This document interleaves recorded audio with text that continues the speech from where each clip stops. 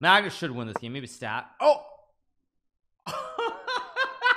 Magnus by the way my man needs a new mouse. Minlay being way too generous and not taking the rook this time. Minlay being super nice by not taking the rook there. He's not from the from the Cobra Kai school like I am. Because you know in Cobra Kai it's always um strike first strike hard and most importantly no mercy. I'm pretty sure bishop g7 wins. He misses bishop g7 and rook h6 for real?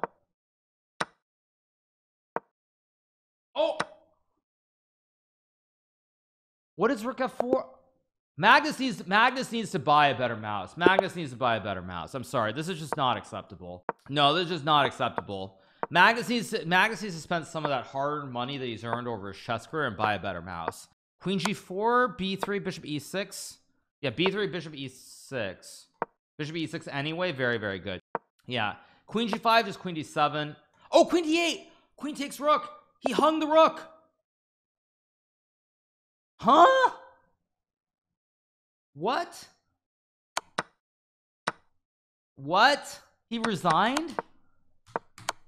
No you can't be serious